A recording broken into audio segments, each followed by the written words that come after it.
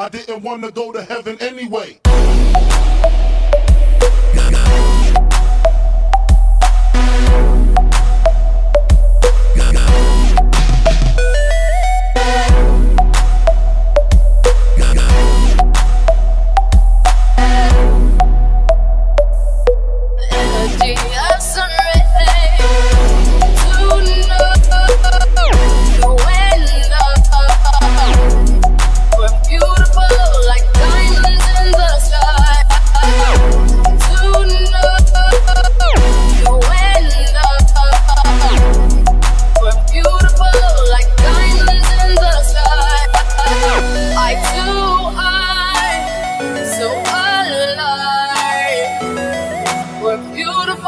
like diamonds.